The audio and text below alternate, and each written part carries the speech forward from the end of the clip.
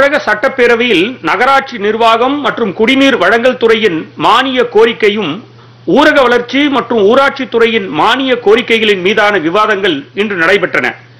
நகராட்சி நிர்வாகம் மற்றும் குடிநீர் வழங்கல் துறையின் மானிய கோரிக்கையை அமைச்சர் கே என் நேரு தாக்கல் செய்தார்.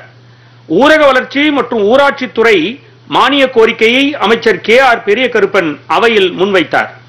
விவாதத்தில் கலந்து கொண்ட அஇஅதிமுக உறுப்பினர் எஸ் பி வேலுமணி அத்திக்கடவு அவினாசி இரண்டாம் கட்ட பணி அம்மா சத்துணவு திட்டம் அம்மா இருசக்கர வாகன திட்டம் கடல் நீரை குடிநீராக்கும் திட்டம் உள்ளிட்டவற்றிற்கு நிதி ஒதுக்கீடு குறித்து பேசினார்.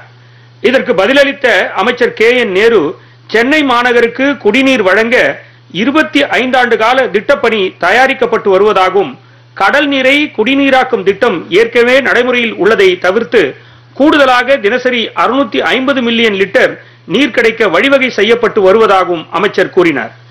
மேலும் சென்னை நகரில் பயன்படுத்தப்படாமல் உள்ள ஐநூறு ஏரிகள் மற்றும் செங்கல்பட்டு காஞ்சிபுரம் மாவட்டத்தை சுற்றியுள்ள பாசனத்திற்கு பயன்படுத்தப்படாமல் உள்ள ஏரிகள் பழுது பார்க்கப்பட்டு மழை காலங்களில் நீர் சேமிக்கப்பட்டு சென்னை நகரின் குடிநீர் தேவைக்கு முழுமையாக பயன்படுத்த நடவடிக்கை எடுக்கப்பட்டுள்ளதாகவும் கே என் நேரு கூறினார்.